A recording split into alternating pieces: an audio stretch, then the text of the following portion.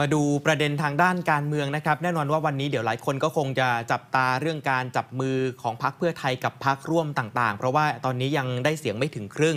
แต่เพื่อไทยเองออกมายืนยันแล้วเพียงแต่ว่ายังไม่ได้เปิดเผยว่ามีพรรคอะไรกันบ้าง แต่จริง ๆ ความท้าทายไม่ได้อยู่แค่เรื่องของการรวมเสียงรวมพรรคการเมืองเท่านั้น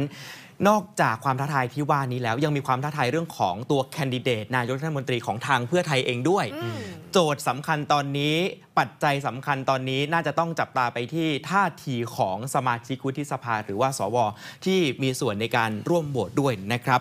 อาจจะต้องเป็นส่วนที่พักเพื่อไทยเองไปเร่งทำความเข้าใจนะครับเรื่องของการเสนอชื่อของนายเศรษฐาทวีสิน เป็นแคนดิเดตนายกรัฐมนตรีนะครับนอกจากการเดินหน้าเสนอชื่อที่อาจจะยังสร้างความแคลงใจในเรื่องของการหลีกเลี่ยงภาษีที่มีการออกมาเปิดเผยก่อนหน้านี้แล้วนะครับยังมีข้อข้องใจที่ทางสวเนี่ยพูดถึงเรื่องของการแก้ไขรัฐธรรมนูญ ที่พวกเขามองว่า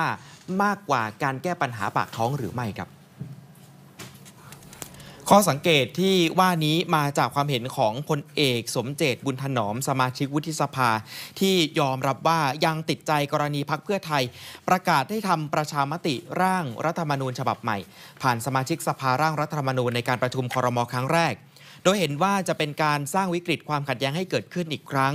ก่อนจะตั้งคำถามกลับไปที่พักเพื่อไทย ว่าทำไมจึงให้ความสำคัญกับการแก้รัฐธรรมนูญ มากกว่าการจัดตั้งรัฐบาล เพื่อแก้ไขปัญหาเศรษฐกิจปากท้องของประชาชนครับขณะที่สววันชัยสอนสิริออกมายอมรับว่าหลังจากพูดคุยกับสวหลายกลุ่ม สมาชิกเห็นตรงกันว่าการจับมือจัดตั้งรัฐบาลของเพื่อไทยและภูมิใจไทย โดยไม่มีนโยบายการแก้ไขประมวลกฎหมายอาญามาตรา 112 และหากรวบรวมเสียงเกินกึ่งหนึ่งได้ จะโหวตสนับสนุนบุคคลที่ถูกเสนอชื่อเป็นนายก แต่ยืนยันว่าไม่กังวลหากพักก้าวไกล ร่วมจัดตั้งรัฐบาล เพราะเป็นเรื่องของอนาคตนะครับ เพื่อนสวส่วนใหญ่เลย โดยเฉพาะอย่างยิ่งเพื่อนสวที่อยู่ต่างจังหวัด มาปรารบกับพวกเราพูดคุยแลกเปลี่ยนกันเรา อยากให้มีการโหวต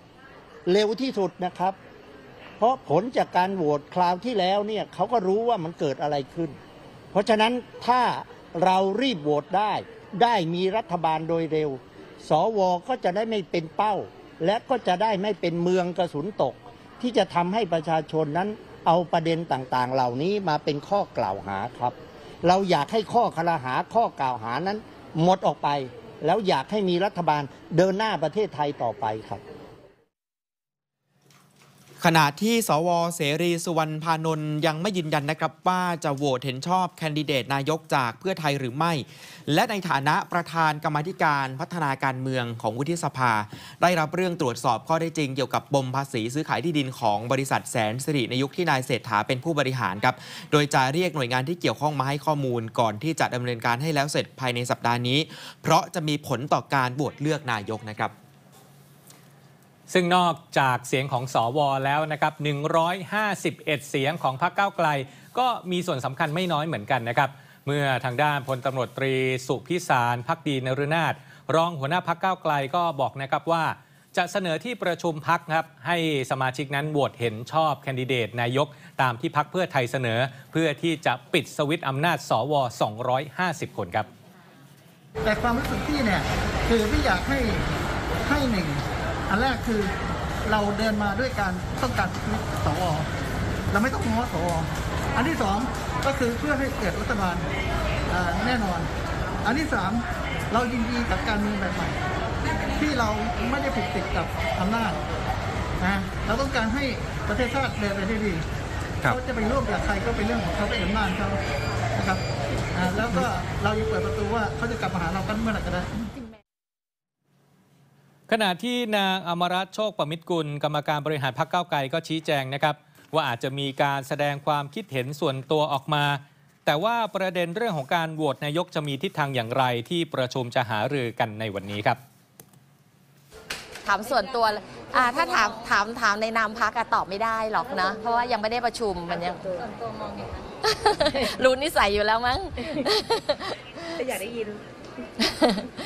อะตัวเองไม่มีสิทธิ์จะโหวตด้วย ไม่ใช่ไม่ใช่สอสอนะคะแต่ว่าก็ต้องพูดแบบคุณช่อน่ะนะคะผัวไปมีเมียน้อยแล้วยังจะต้องตามไปปูที่นอนให้อีกเหรออืใช่ไหมคะค่ะคือแต่ก็ยืนยันนะว่าจะโหวตไม่โหวตเนี่ยอยู่ที่การประชุมนะค่ะเออส่วนคุณอมรัตน์นี่ก็ออกมาแสดงความเห็นเรื่อยๆนะครับอะทีนี้การประชุมพักเมื่อวานนี้ครับปรากฏว่ายังไม่มีการหารือในประเด็นการโหวตเลือกนายกครั้งที่สองครับ โดยนายพิธาลิมเจริญรัตหัวหน้าพักก็นั่งเป็นประธานการประชุม ร่วมกับทางด้านนายชัยธวัฒน์ตุลาธนเลขาธิการพักและกรรมการบริหารพักเพื่อที่จะหารือเกี่ยวกับกฎหมายฉบับต่างๆ ที่จะนำเข้าสู่การพิจารณาในสภาผู้แทนราษฎรครับ โดยทางด้านนายชัยธวัฒน์ก็ย้ำครับให้สสทำงานอย่างเต็มที่ในฐานะฝ่ายค้านครับ